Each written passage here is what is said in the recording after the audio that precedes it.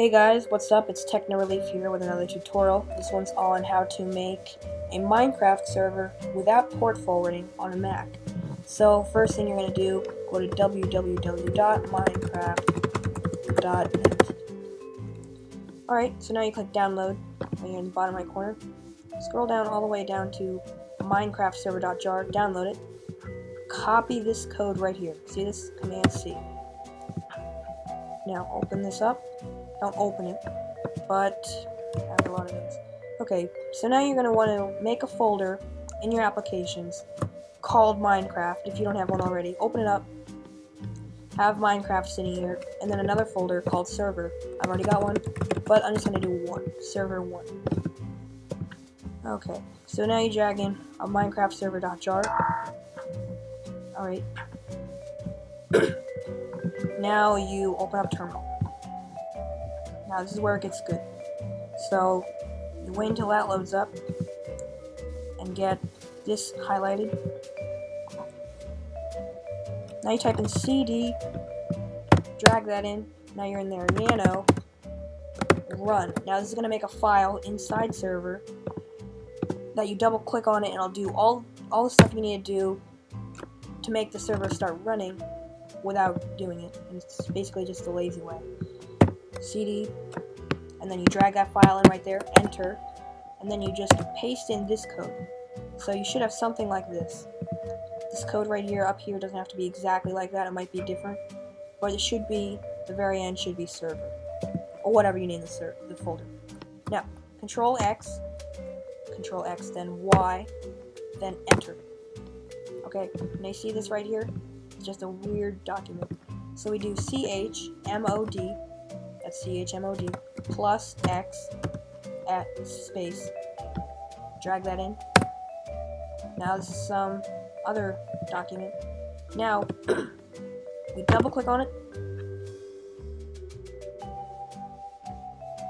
And would you look at that, just like magic, 3%, 8%, there we go. So, now while we're waiting for that to load, we have to do this. Go to log me and me in. And then you click on the login one. It has to have the login These won't work, these won't work. This is it. Do products, log me in Hamachi 2. Then you go all the way down here to free version. Click on get started. And then make sure you check this box.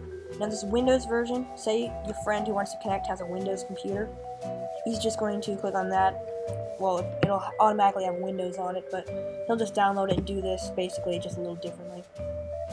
Then you download it, and then it'll mount it on your desktop, log me in Hamachi. Then basically you run it, do all that stuff. As soon as you're done that jazz, you open up Finder. As you can see, it says done, so that is running. Then you go into Applications, this is where it should be. And you open up your folder called Log Me In called Log Me in Hamachi. And you open this up, and then you click Online, say probing. Now, while you're waiting for that, well, yeah, create a new network. Let's name it Minecraft. Then your last name, because Minecraft's going to be taken. So you do Minecraft, and then let's say your last name is Bob. Then you type in a password. I'm doing test. Click create. Now, that'll be done. And there it is. Here's Minecraft Bob. Nobody's in it, as you can see. Unlike my server, some people in it. That means these people are on my server right now, my Minecraft server. But Minecraft Bob is nobody in it. So, on somebody's computer, they have to click on Join an Existing Network, type in Minecraft Bob, then type in test, or whatever password is, click Join. I can't do it probably yeah, I'm, I remember. And then they'll pop up on your computer here. Now, as the host, you have the code to give everybody else. You give your members 5.191.100.157. That's the code you give to them. Then, on theirs, they open up Minecraft. And what you're going to do is, you're going to click multiplayer. And then they'll type in the code that you gave them, which you find from here, that code. And click connect for them, but you can type in localhost It's the person with this on their computer. They type in localhost, they click connect. That's just a little shortcut. Now, you appear in this random place, as always, and yeah, that's your server. So now, if you're the administrator, you can just type in op and then your username. Now would you look at that? You're now an op. So now I can type in give Latin for 64. Now I just gave myself some cobblestone.